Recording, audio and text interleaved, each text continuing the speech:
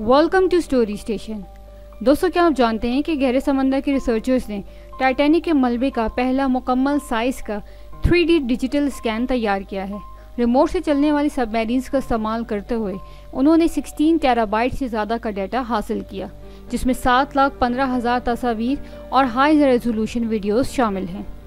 मैगीलैंड limited और Atlantic production की जानब से तैयार करदा यह खसूसी स्कैन टाइटैनिक का मुकम्मल नज़ारा पेश करता है जिससे हैरत अंगेज़ तफसीत सामने आई हैं।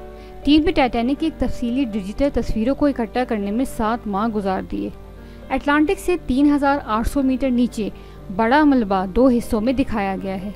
इस स्कैन में जंग से ढकी हुई कमान टूटी फूटी चीज़ें और गुमशुदा अजीम व शान सीढ़ों की हैरत अंगेज़ तफसीत दिखाई गई हैं।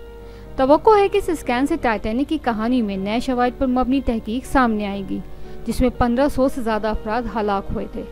इस काबिल ज़िक्र कोशिश का मकसद अप्रैल 1912 के अलनाक वाक़ात पर नई रोशनी डालना और तारीखी तबाही की गहराई से आगाही फराम करना है।